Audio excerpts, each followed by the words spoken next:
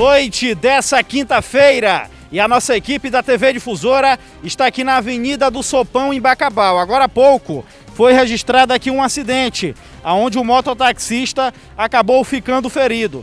A informação que chegou para a nossa equipe é que foi um acidente aí moto com moto.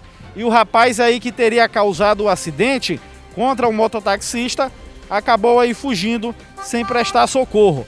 Nesse exato momento a equipe do SAMU já se encontra aqui no local, já prestando aí os primeiros atendimentos a respeito desse mototaxista, que acabou aí é, sofrendo esse acidente. Inclusive ele estava gritando é, de muita dor, dá para ver ali um corte já na sua perna esquerda e agora ele já está recebendo aí todos os atendimentos por parte dos profissionais aí do SAMU. E a nossa equipe da TV Difusora acompanhando toda essa situação já na noite dessa quinta-feira.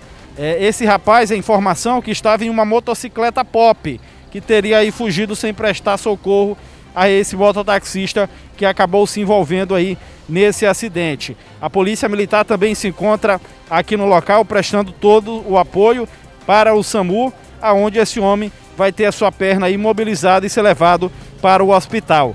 E a nossa equipe da TV Difusora acompanhando toda essa situação. Aí eu passei com o aí eu conheci que era, que era ele. Aí ele me pediu socorro para mim, pra, pra mim no Pantanal chamar a, a, a, mulher dele. Ele mora no Pantanal? É, no Pantanal. Ele é conhecido como aí? Esquerdinha. Esquerdinha. É. A informação que um rapaz aí teria causado acidente fugido é? Ele disse que, que o cara pegou, fugiu, né, do, do, do, do local. Tava numa pop? Não, disse, disse que, tá, que, tá, tava numa bros, uma bros preta. Peitou nele aí, causou acidente e fugiu sem prestar socorro. Foi. Esquerdinha, né? Uhum, é esquerdinha. Aí, gente, aqui o Esquerdinha, conhecido aí, o mototaxista conhecido como Esquerdinha, se envolveu nesse acidente, segundo informações aqui de um colega dele, mototaxista também, que não quis se, se identificar.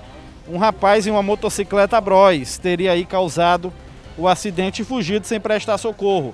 Esquerdinha, morador ali do bairro Pantanal, aqui em nossa cidade. E agora ele já está sendo colocado aqui na maca do SAMU e será encaminhado para o hospital.